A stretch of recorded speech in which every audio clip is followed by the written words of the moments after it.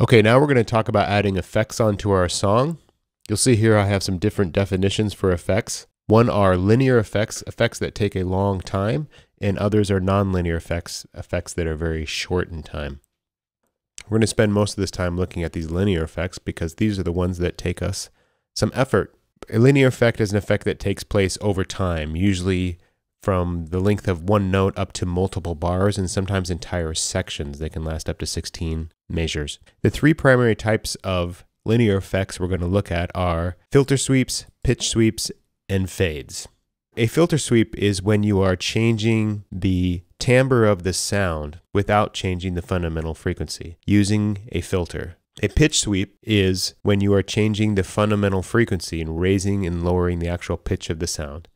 And a fade is when you are raising or lowering the level of the sound. Those three linear effects can either go up, and we'll call them risers, or they can go down, and we'll call them fallers. These risers and fallers are critical in maintaining interest in our song. In the past, we had to use chord progressions and different types of pitch resolution to give a sense of our song moving somewhere. But now we can move and change the frequency and the pitch and the level of the song without having to worry about music theory and notes and traditional ways of resolving tension. To do a filter sweep, what I have to do is I have to insert a filter onto a track. So what I'm going to do is I'm going to go to my bass track and I'm going to put in an equalizer. Now your DAW might do this differently, but in Logic, the filter is built into the top of the equalizer. What it does is it cuts off all the high frequencies in a sound. So if I were to play this bass part right here, you can hear if I move this around, it's not touching the fundamental frequency here, but it's affecting the overtones. You see that? That is what is called a low pass filter or high cut. It's taking out the high frequencies and letting the low ones pass through. So if I take this all the way down here, you'll hear the fundamental frequency. And as I sweep it up, you start to hear the overtones. That's a high pass filter. And we also have a low pass, which means we can cut the low frequencies out and just leave the overtones. I'll play that. And you hear it sounds like a phone or something, right?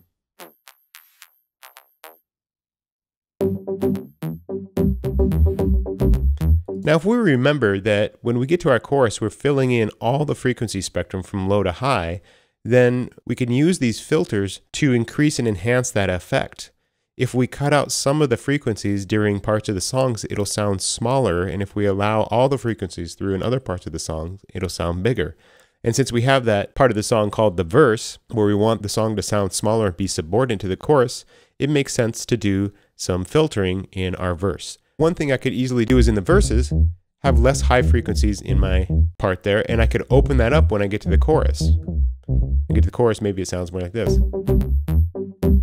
So I haven't added a new sound or a new part. I'm just changing the overtones on my existing sound. The problem is that I don't want to sit here and move this in real time with the song, right? In fact, it's very hard if I'm trying to render it.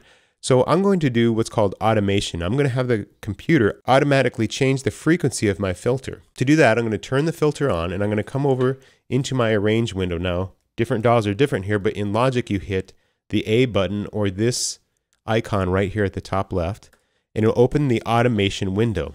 Once I'm in the automation window, I'm going to go to my bass track and I'm going to click on this little drop box right here. And I'm going to be very careful to not turn on any volume automation. We'll get to this in a minute, but I'd like you to, to never in any DAW automate the movement of your fader, this guy right here on the bottom left. Because if you do that, it's going to make it very hard for you to mix your track. I'm going to show you how to do some fades using level, even though they call it volume here, later. So make sure you don't have any volume automation.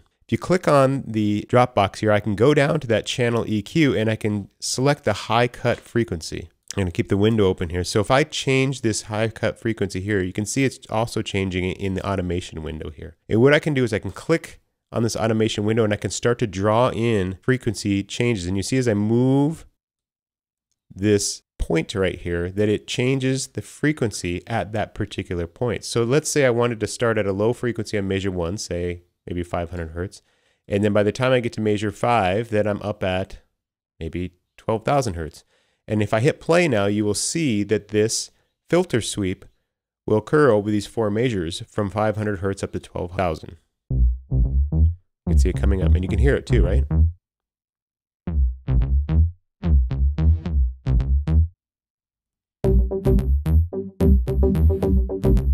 This added just a little bit more to that sound. It's still the same song, but by sweeping up slowly over those first four bars, I increased the depth and interest of the song. Even though I've been harping on simplicity for your songs in terms of the loops you're using, rarely have I heard a song where there's too much filter sweeping going on. It seems to be something that our ear can handle a lot of. You could be filter sweeping your accompaniment part, your rhythm part, your bass part, your lead part a fair amount throughout your song, and we seem to like the way it sounds.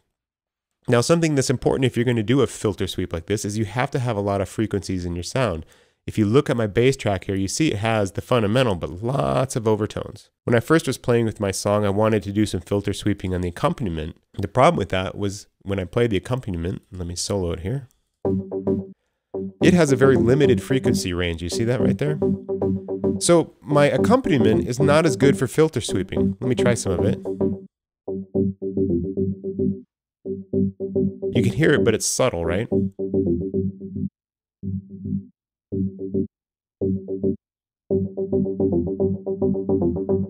There are not enough overtones in that accompaniment part to have the high part of the frequency sweep, whereas if I go with my bass part,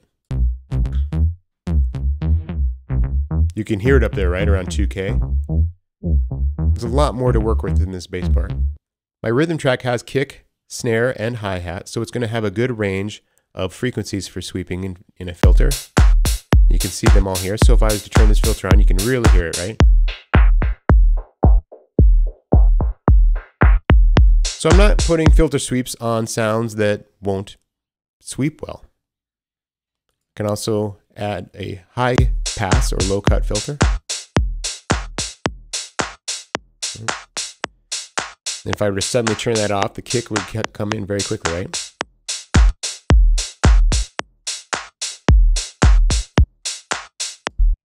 So what I'm going to suggest for your song is that you look at filtering your sounds a fair amount in your verses and your bridge and your chorus, especially in the second half of the chorus, introducing some long, kind of slow moving sweeps or filters, enough to hold interest, but also to create drive into the next section. So that 25 to 33 and that 57 to 65 is a great time to bring in some sort of additional filter sweep. And it's basically a form of ornamentation. It's adding a little bit to the existing sound, but we're not adding notes. We're adding changes to the frequency spectrum. Just to show you some of those filter sweep effects, you can see here I've got them on my rhythm, bass, accompaniment, and lead parts. My accompaniment my lead don't have a lot of overtones, so the, they're pretty subtle there. But let me play through it so you can just hear it. I'm starting with a low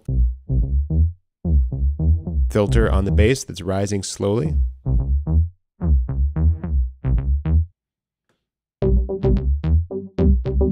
Might darken that accompaniment just a little bit. Now you can hear the kick. I've filtered off the low frequencies, right? So I have a high pass happening here.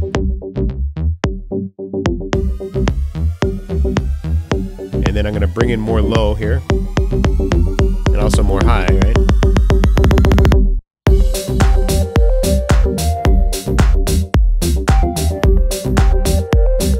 So at the beginning of my chorus, I have all the frequencies as high and low as they possibly can go, and then I can start to play with those. I can start to reduce those, right? Because this is the point in my song, 17 to 25.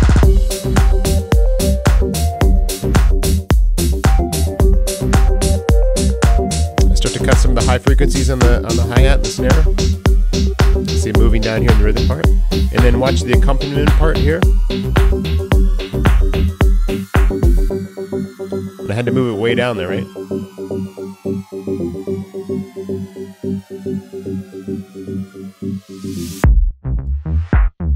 The bass you can see is filtered at this point, and the drums, and then watch they'll open up here. Okay, that causes more impact to come, right? When those two parts come back in, they're very strong. Then you'll see here I have, I'm filtering that snare,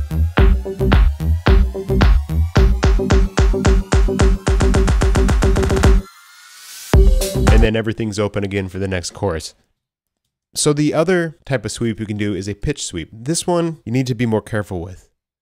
Too much pitch sweep will get really annoying for the listener. So you can only use this in a couple little places. Filter sweeps you can use all day. pitch sweep you have to be more subtle with. Let me show you how one of those works.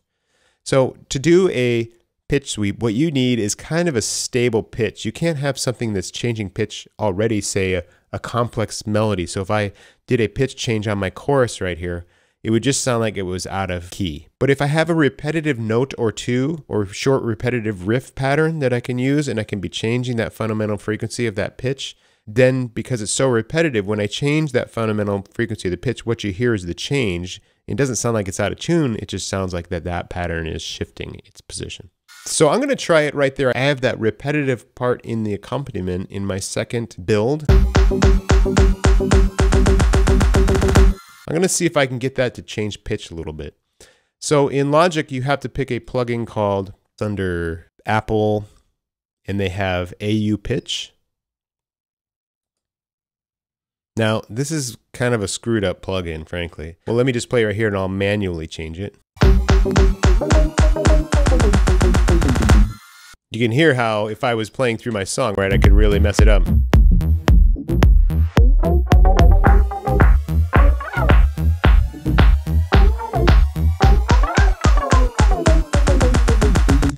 Can overdo it, right? You can make your song really sound out of pitch. So what I'm going to do is I'm going to come click here in the automation window again. I'm going to come in to the AU pitch. I'm going to pick pitch right here and I'm going to click somewhere. Now you'll see that what it did was it put the pitch at negative 552. And the problem is that I can never get it back to zero. This is a real problem with the way they implemented this. So I'm going to actually set it to zero right here. I can. Yeah, this is a clunky interface. Like I cannot get the pitch back to zero. So I'm actually going to remove the plugin and put it back. Bad implementation. Oh, there, it looks better now. I'm going to, it's going to be at zero. So that, then when I click on the accompaniment track, I clicked on volumes. So you can double click to delete a point. Let me go back into the AU pitch, pitch, click it once, and I have my zero cents now, okay, which means it's not changing pitch at all. So you need to have that kind of zero reference point, and I'm going to go ahead and now click zero before and after I make any changes. This is a pretty common thing when you are doing automation is you might want to set your start and end points before you start changing the, the pitch in between. So let's see if uh, we just listen to the accompaniment. Now what you can do is probably just listen and decide how much you want it to bend.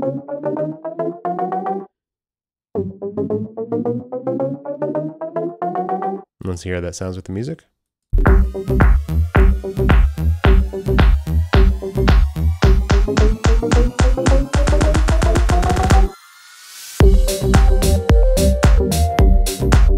That is a pitch sweep. Now could go the other direction. I could go down with it, right?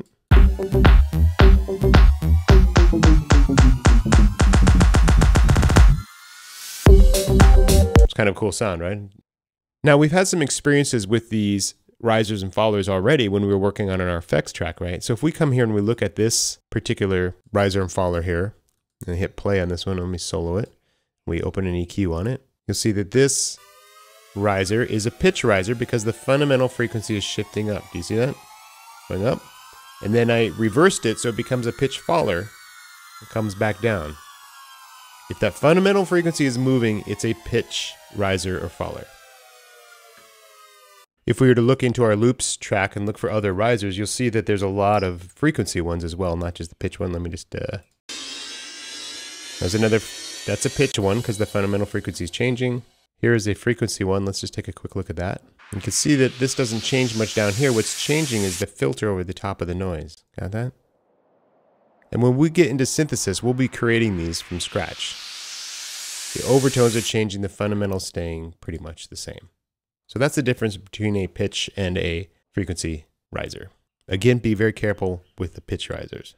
The last one I want to look at with you is a, is a fade. And a fade means it's turning up or down the level over time.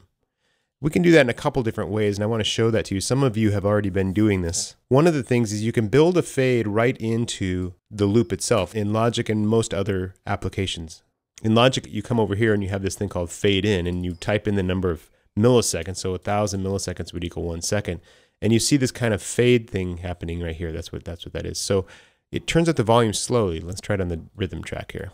So if I were to put a long fade in on this loop right here, let's put a five millisecond fade in here. You'll hear these drums get louder as they play. Okay. This is called a fade. Now this fade is linked to this region. So if I move this region now, you'll see that fade always moves with it, right? This form of automation is called region automation. Whereas the automation we're doing up above here, when we're looking at the tracks over many measures, is called track automation. So track automation means it's linked to the track. Region automation means it's linked to the region. You can also do fade outs. So we could do a fade out, let's say maybe a two second fade out and maybe a two second fade in, quiet to loud, and back to quiet. These are region-based fades. Then if I want to do track-based fades, I have to use automation. Your instinct might be to reach for automating the level of the track, the fader itself. The problem is once you do that, you're locked into a particular level on that track. And when you go over to mix your track, you might adjust your bass and then it keeps jumping back to whatever you had set in the automation area. So what I would like you to do is to always use a plugin and automate the level on the plugin. In our case, we have these EQs already installed. And in the EQ, if we go into EQ here, there is a setting for master gain, which is the level for the equalizer. Let me go ahead and open that equalizer. So if I wanted to bring my kick in kind of quieter here, one thing I can do is I can go into the master gain and it's over here on the left. You'll see it moving on my equalizer there. And you'll see that it's so quiet you can't even hear it right now, right? Here it comes. It's turning up slowly. And getting louder and louder, right?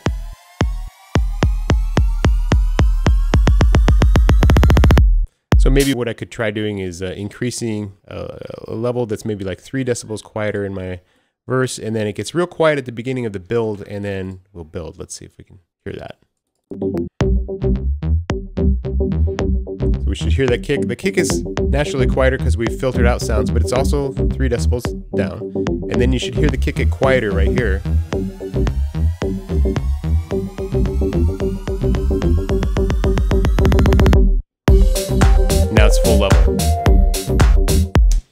So that is a fade in and obviously a fade out would look something, you know, if I wanted to fade out the drums at the end of my chorus, for example. Lots of other options, but I could be coming here. So I'm filtering it and fading it. The drums are disappearing. So the level went down and the filter went down. So this is a great way to bring in things soft and quietly. You want to introduce an idea not at full level. A track-based fade-in is a really great way to do it. That covers filter sweeps, pitch sweeps, and fades. They can either go up or they can go down. Make a lot of use of them. Be most careful with that pitch sweep. That can cause some serious damage to your song if you get too excited with that. I would like you to try one somewhere in your song. Uh, filter sweeps you can use all over your song all over the place. It's a way to hold attention. much in the same way that we were using extension and development, you can use these filter sweeps. They're a cheap, easy way to get mileage out of your song. We did that originally by just putting in those risers in our builds and at the end of our choruses, most of you, and you could hear how that created tension and release in your song. In addition to these linear effects that take place over time, you can have quick one hits, and these nonlinear sound effects basically function as fills. They come in and take the lead for a second, and they disappear and they can be just about anything you can think of. They could be a car crash, could be a door shutting, it could be a wolf howling, it could be a person saying, "Hey, hey," you know, it can be crashes and noise. And these are these are very powerful to use to keep interested in your song. You could repeat something four times, and just like we did a drum fill, you have a little crash or a hey in there. It's we're going to really grab the listener's attention for a second, and then allow it to go back to what you had already been playing without being bored. You can see some of the ones I've introduced. I have right here a crash. I have here a riser right before that crash. And I have a couple very short risers here, and then I have some haze here. I'll just play that section for you there. Go into the chorus. Hear that crash right there? really emphasize that transition. So in development up here, and then using effects down here as ornamentation. A little backwards one here, you got this? Crash. And that little backwards one. And then I have some haze going on in here. These are non-linear. Turn that up a little bit. So I have a linear effect and a non-linear effect happening at the same time. If this person was singing, it would be becoming a melody. I would have to think of it up here as one of my four primary tracks. but because it's a non melodic vocalization, it sounds like an effect more than anything else. Rarely can you have too many of these as well, especially the noise effects. You can have a ton of them if there's not a lot of pitch involved in it. You can be throwing them on your song like there's no tomorrow.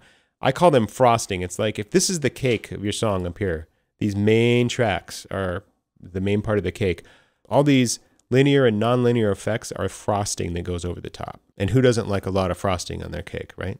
So that's what I'd like you to do this week is to be adding in these effects. I'm going to be asking you to show me at least three sweeps and at least three nonlinear effects in your track. All right, good luck.